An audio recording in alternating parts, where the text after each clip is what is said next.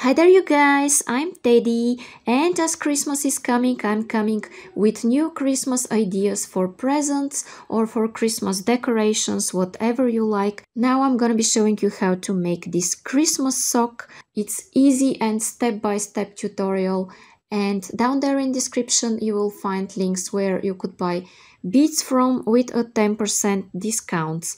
Here I'm using Toho beads from Beebeecraft. Consider subscribing with the bell, liking and sharing this video. In this way you help me so much. Thank you so much for watching. Now I will start with the list of the materials. Okay guys, so what I'm using here for this video are three colors of Toho beads. By the way, down there in description, uh, you will see the full list of materials with links where you could buy those beads from. And you have 10% discount code. That is why it's a good idea to check description and there you will also see a link to my Facebook page where you could share your beautiful work that you did following me, PayPal link for donations, and you will see what you get if you decide to become a member of this channel. Okay, what else I'm using is this Nymo nylon thread that is 0.2 millimeters, which is size D. And here I use size 10 beading needle. This is a free pattern that I provide and I will share it on my Facebook page as well. So if you want to download it, it, maybe it's a good idea to go there and do this. And I'm also using scissors. I'm gonna be following this pattern and you will also see it here at this corner. And uh, now I'm going to put about an arm span of thread on my needle and I'll be back.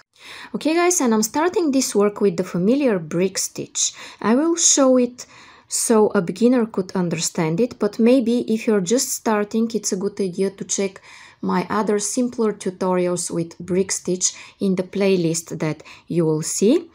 And uh, I will start with this row. You see this one, the longest one here.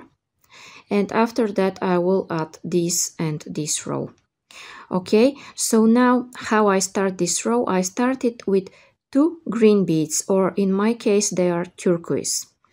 And this first row will be a little bit different and tricky than the others but then uh, it will continue with the familiar brick stitch. Okay so I'm taking two turquoise beads to start. Okay two turquoise beads and I'm going to slide those down okay.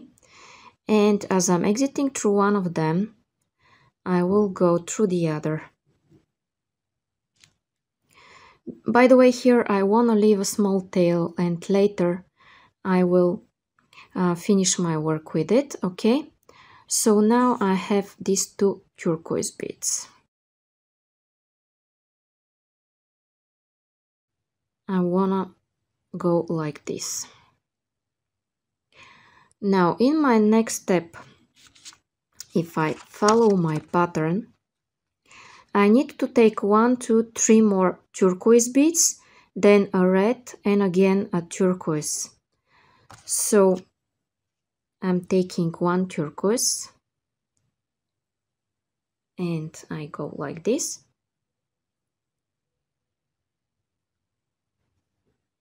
And then again through the bead that I just added. I'm adding them one by one with the holes pointing in this direction as you may see. Then I will do this two more times.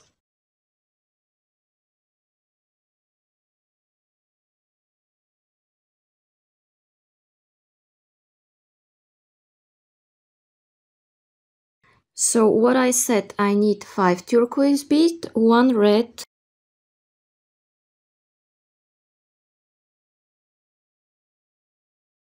and then again 1 turquoise or green, whatever you have.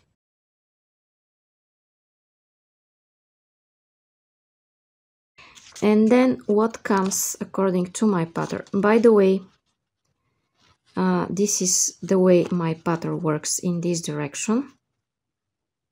Okay. So I added one two three four five turquoise one red and then one more turquoise. And now I need to add 10 red beads. Okay 10 red beads but I'll flip it in this direction because it's easier for me. Okay, so here is the first one that I'm adding. Okay, I will add 9 more at, and I'll be back. Okay, and I have my 10 beads here. And by the way, now I think it's better to turn my work in this direction. Uh, because here I will be adding this row and this row. And now I'm after this 10 red beads. So I'm up to here in my pattern, you see. Don't worry that uh, at this stage it looks loose and it's not very beautiful. You we will fix it later so continue in this way. And now I need a turquoise four reds and two turquoise. So I take a turquoise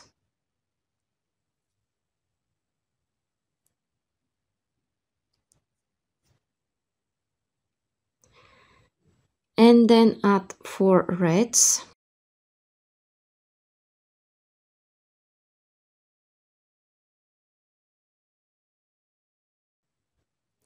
Okay four reds. And now what I need to add are two turquoise beads.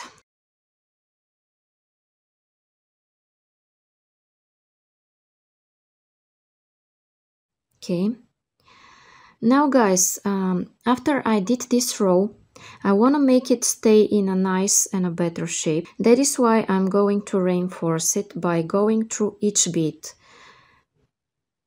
don't worry, only the first row is that difficult and a little bit unpleasant. The next rows won't be that unpleasant. Okay, continue and meet me here at this end.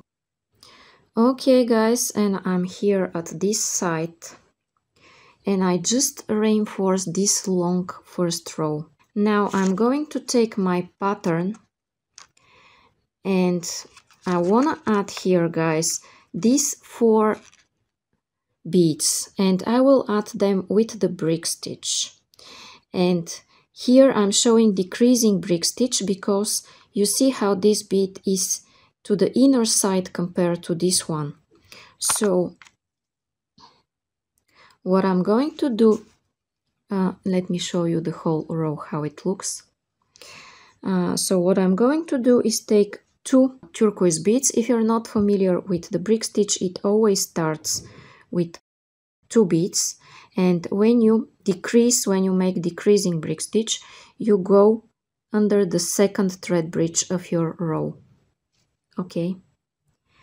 And then you always go through the bead that is closer to the center of your work and then when you make a decreasing brick stitch you make an additional reinforcement of the beads that you don't do if you make an increasing brick stitch but I'll show you later for the increasing one and then I want to add two more beads and always when I make brick stitch only the first step is with two beads and then I continue one by one. So I need to add four turquoise beads. I added two already and I'm going to add one by one two more at the next two thread bridges like this under the thread bridge and then through this bead. Okay now I did this and what I want to do next is reposition my thread I want to exit here from this side, guys. Okay. And now I'm going to flip my pattern because I will continue with my next long row of beads. Okay guys, and as I have this, I'm going to start my next row and that is why I want to take my pattern again in this direction. So you see I already done this row here, this row here. Then I did this long row, which is the second one. And now I'm here at the third one. And here at the third one, I need four turquoise or green beads. And I start with two turquoise and then one by one I will add two more. And now I will show you an increasing brick stitch. So I said I need four turquoise and always when I make brick stitch I start with two beads.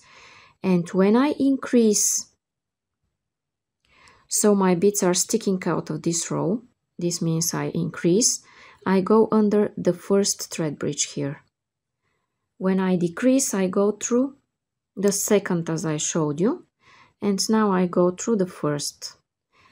And then I go through the bead that is closer to the center of my work. Okay?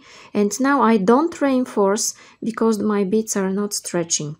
And from here on guys I'm going to add one by one at each thread bridge all the beads that I need. And according to my pattern and my pattern says that I need four turquoise in total so I need to add these two after the first two that I added in the beginning. Okay. Then what my pattern says is that I need a white two reds and a turquoise. And I'm going to add a white.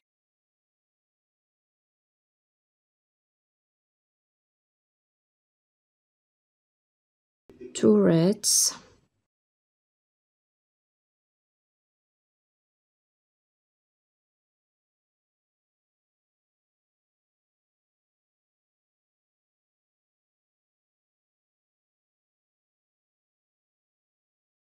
and then a turquoise.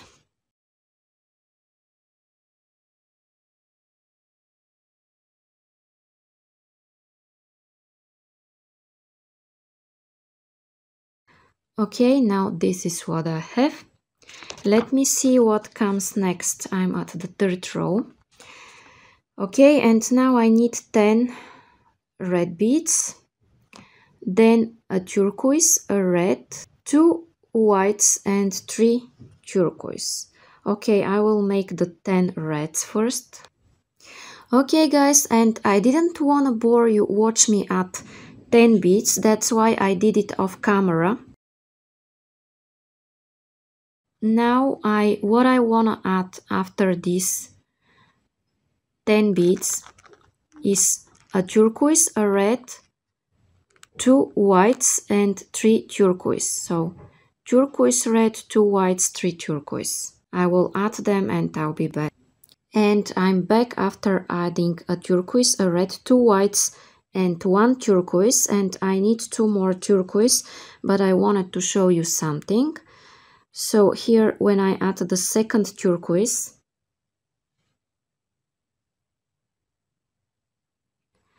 I'm out of thread bridges because I added it at the last thread bridge but I need to add one more turquoise because here I expand. And that is why I'm going to take it and add it at the same thread bridge. This last thread bridge and here I'm adding two two beads at this bridge. Okay. This is what I have let me show you the whole length like this and let me compare it with the pattern. Okay it is almost the same just this bit here needs to be added. Okay and how I add it I should go here like this. I take it and I go under this thread bridge here. Okay. Then again I go through this bead and now what I want to do is exit again from this bead in this direction. That is why I will reposition my thread okay I'm going here. Then I'm going here. And then I'm going back here again. Okay? Now I'm in a position to start my next row. Okay? And my next row as you may see I added one two three rows. So one two three so my next row is the fourth row and it starts with two turquoise and two whites after them so I take two turquoise beads and I should pay attention whether I increase or decrease. In this case, I decrease. So what I do when I decrease, it's a simple rule. As I'm exiting here, I go under the second thread bridge instead of the first one. Okay, like this. Then what I do, I go through the bead that is closer to the center. Always go through the one that's closer to the center. And now when I decrease, I do the additional step of reinforcing that I don't do when I increase. Okay. Then what I set is that I need two white seed beads and I'm adding all of them from now on one by one. So go under the next thread bridge and through this seed bead. Then another and go here.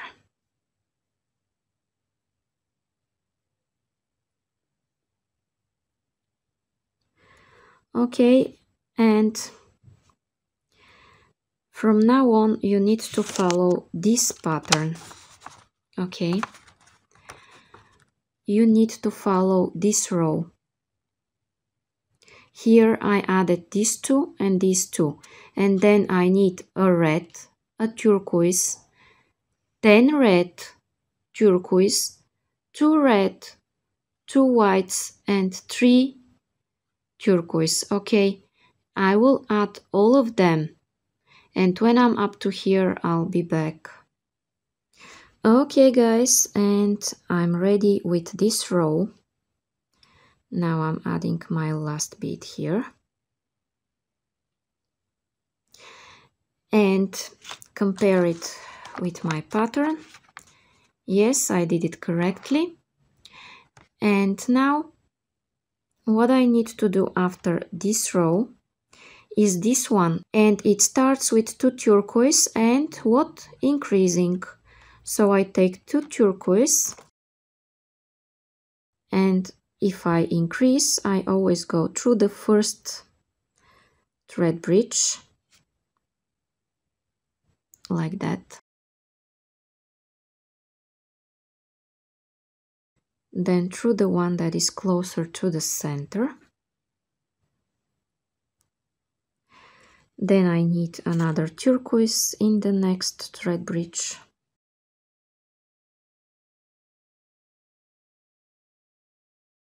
Okay, then what I need next, I'm here, and what I need next are two whites, two reds, turquoise, three reds, and follow along this row.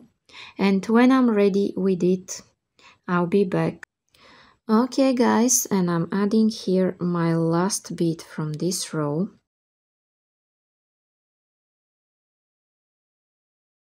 Okay now I will be showing my progress in the next 8 frames uh, I'm making a row and I'm showing it to you. In this way you could pause on each frame and make each row. Uh, the other option is to pause on this pattern or download it from Facebook and follow it up to here. And I will do this off camera and I'll be back and join the next 8 frames.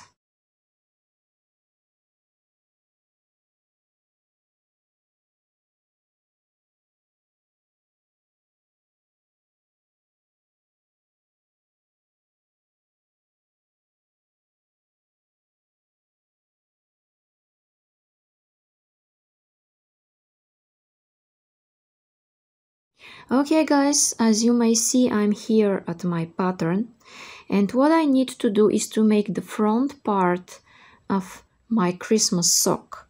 And in order to do this as I'm exiting from this turquoise bead where I finish this row I'm going to go through all of those beads zigzagging through them because I want to reach this turquoise from where I will start my work. Okay, I'll do this off camera and I'll be back. Okay guys, and when I was zigzagging, now I'm here through this red bead which is next to the turquoise and I want to exit out of the turquoise in this direction from the inside to the outside. And how I do this, I make a little bit of a thread repositioning. I'm going through the turquoise and through this red after that. Okay, you see? And then I go through the turquoise and through the one that's at the edge that I'm aiming for. Okay. Now I have this and now it's time to take my pattern but this time I will take it in this direction. And what do we have here? Here I need to make a decreasing brick stitch according to the bead that I'm exiting out of. It is a decreasing brick stitch and I need two reds, one, two, three, four, five whites and one red. And I'm going to take my two red beads and I'm going because I decrease I'm I'm not going through the first thread bridge after this bead I'm exiting out of but I'm going through the second okay? And then I go to the bead closer to the center. And then I reinforce. Because I decrease I need to reinforce. And now what I need is to add 5 white beads one by one.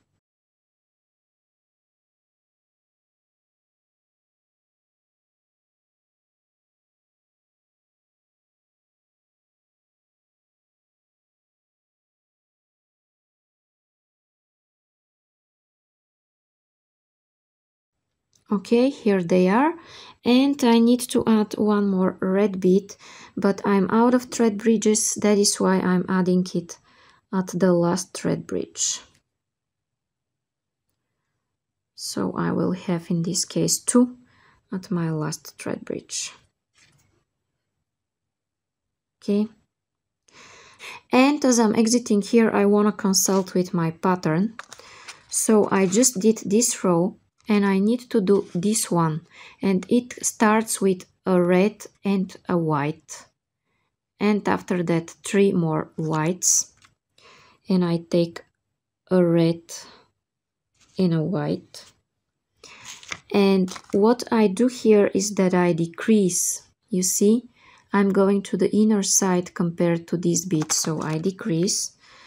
I take these two and I go under the second thread bridge, not through this one, but through this one. Then I go through the one that is closer to the center of my work.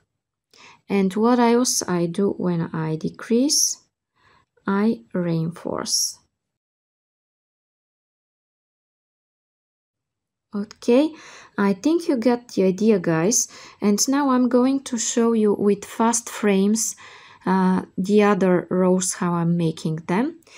You, you know everything you need to finish this work. Okay, I'll show you faster. Okay, this is the next row and consult with your pattern with for this row two reds, four whites and one red. Okay, I'll make it.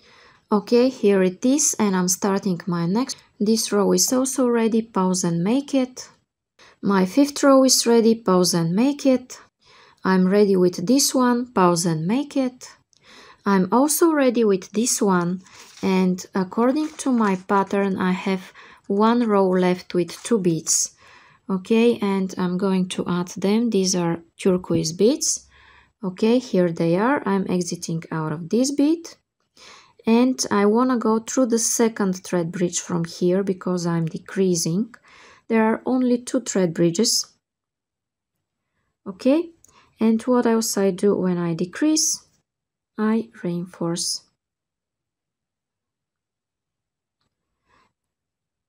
The same rules apply even if you make a row of two beads and you have only two thread bridges okay?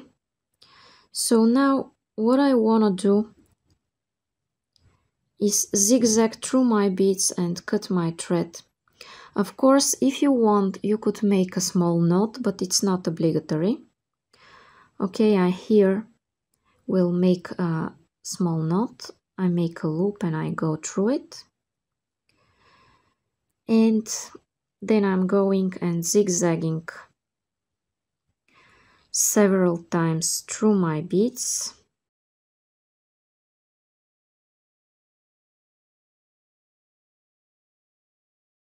and when I feel my work is secure enough I'm cutting my thread and I will put my needle here on this tail thread and I'll zigzag through my beads and I'll cut it as well. Okay, see you in a while. Okay guys, and now my beaded Christmas sock is ready. So if you like it and you want to see more and more tutorials like this, it's a good idea to subscribe and hit the bell.